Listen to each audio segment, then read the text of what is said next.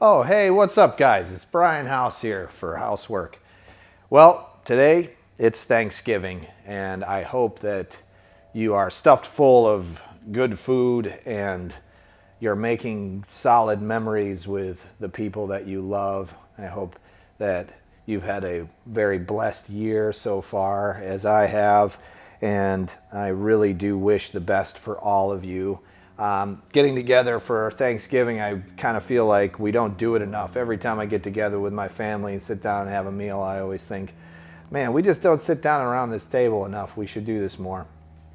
But I guess that's what makes Thanksgiving so um, special, right? So, anyhow, I want you to know I appreciate you and I hope that your bellies are full, your life is going well, and so on.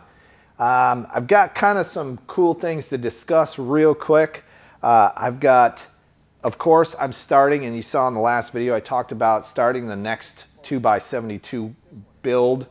Uh, I've done a lot of thinking about that, and I started working out a design, putting it into a 3D uh, a SketchUp program so I can kind of come up with some of the, uh, the ideas that I want to change on the one that I built before.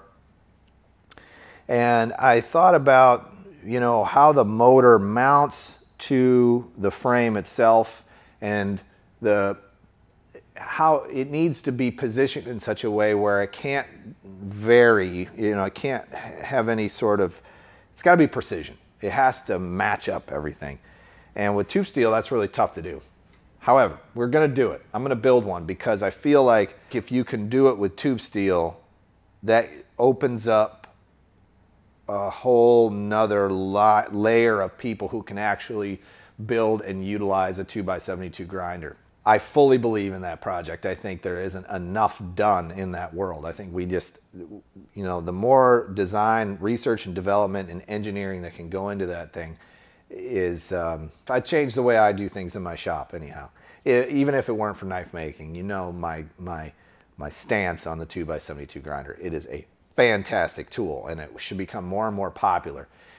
So I'm going to build another one with the with the tube steel using that same design, but we're going to kind of modify it slightly because I think that there's some there's some things like the base, for instance, it can be smaller, and then I need to move the frame all the way to the far right side of the base so that there's more clearance on the outside if you use a bigger drive wheel, things like that. Just small little tweaks mostly based around clearance, by the way. Clearance is like a really, every single time I'm building something, I always say, do I have clearance? Uh, you know, I need to make, make sure that things are going to be able to move and turn and all that. The exciting news is that I purchased the Crossfire Pro from Langmuir Systems. The CNC plasma cutter, I went ahead and had them deck it all out with all the bells and whistles and everything else. And the reason I did that was because I really want to design, build, and manufacture 2x72 grinders. And I think I could do it right here in this studio.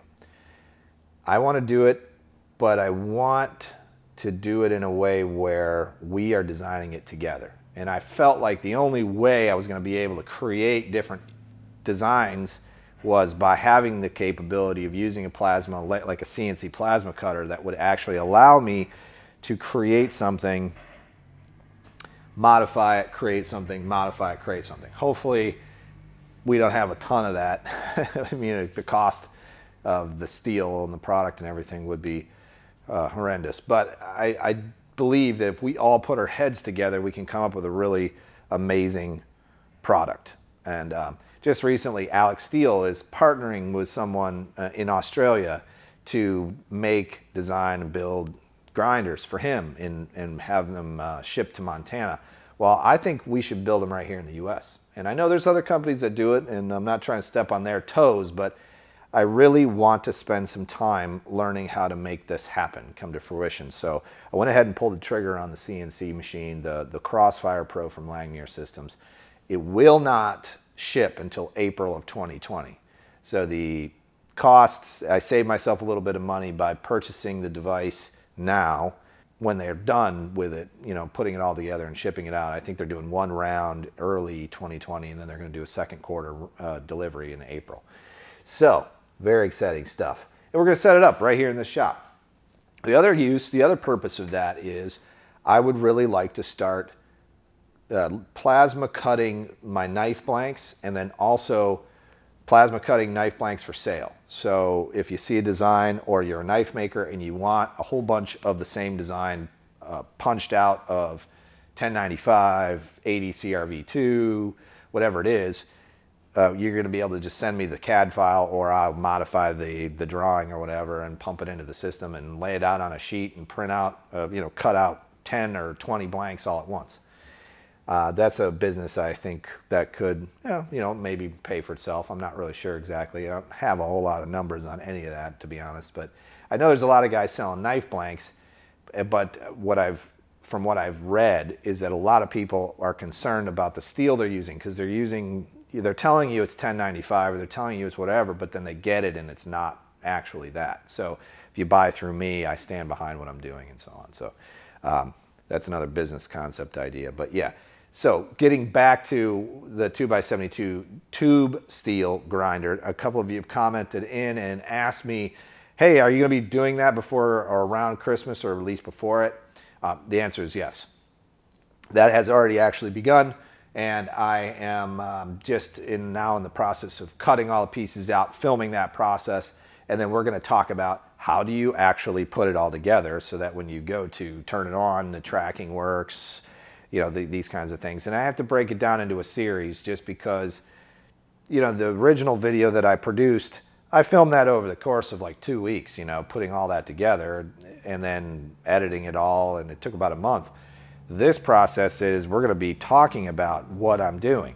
So if you've got a welder and you've got access to steel, you're going to be able to essentially recreate what I'm doing. And I'm going to give you all the breakdown of all the hardware and everything I've used and then the cost associated with all of that as well. Uh, so yeah, it's going to be a series of videos. What I want from you is if you want to learn something in particular, uh, how do I lay down a good MIG weld or uh, I want to learn how to, you know, countersink certain holes or I want to learn how to tap something. If you tell me that now, I'll be able to put that in those videos so that you guys are learning from things because these are all things that I've picked up over the years working with steel, working with wood. Uh, you know, sometimes I take it for granted. You know, I'm like putting it all together. I'm going, well, somebody might not know how to make a countersink in a piece of mild steel. How, what does that look like? What kind of device do you use? Do you drill a, a, a pilot hole? You know, so on and so on. All of those things I sort of take for granted because I grew up around it.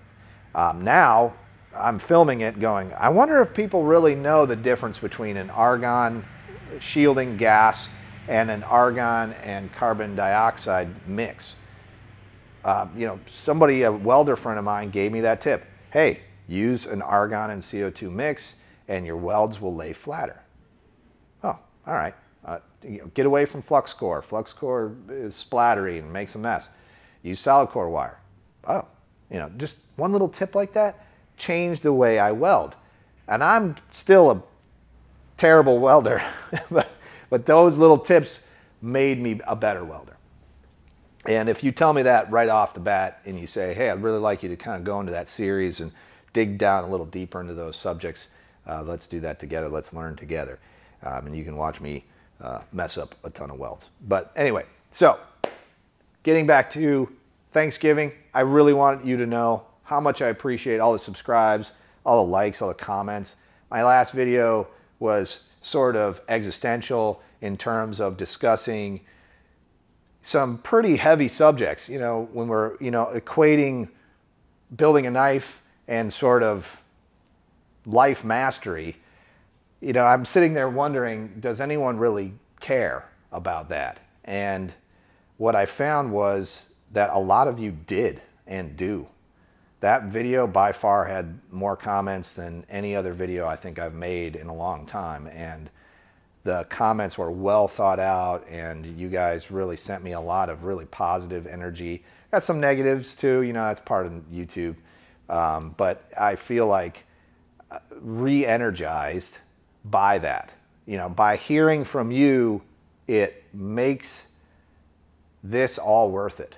You know, if, if I build a business around YouTube, if I take this workshop and I create, you know, uh, I build a two by 72 grinder business that um, employs four or five people um, and generates some income for me. The probably still my most favorite part is actually talking to you guys. I mean, I know that sounds weird, but the path that I took to get here is very odd. In fact, uh, somebody commented on my video the other day about, hey, I, I found your channel because you did all that boat stuff years ago, and um, I'm not into knife making, so I'm leaving or whatever.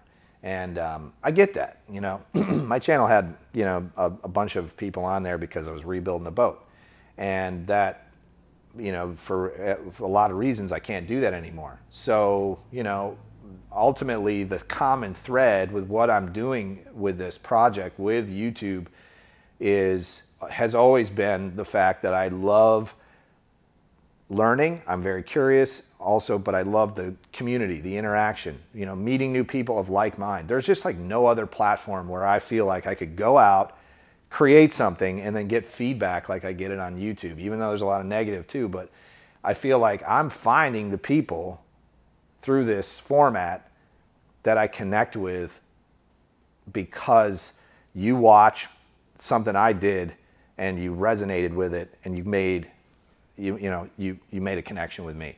I don't connect with people like I should. You know, I know that I have a hard time with it in my my day-to-day life and it's because I've always felt like I'm not like everyone else you know, people meet me and learn about me and they're like, oh, he's a super interesting guy. I'm a great guy to have at a party, you know, because I got tons of stories about a lot of weird shit. But ultimately, no one really understands my way of thinking. They don't look at me and think, he's normal. you know, they look at me and think, he's interesting or he's weird. Um, but after being that way for 42 years on this earth, you get used to that.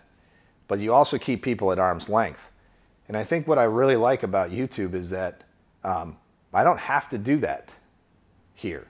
I can be weird. I can do whatever I want and film it, and the right people will find it eventually. And they'll comment in and tell me about it. So, um, and th- that's you guys. Anyway, again, I didn't mean to go on this long. I really wanted you to, um, to know that I was thinking about all of you guys uh, this Thanksgiving, and I hope you'll continue along with me in this journey of building grinders, knife making, um, industrial tool design, you know, whatever we get into, I really hope you come along with me. So anyhow, thanks so much guys.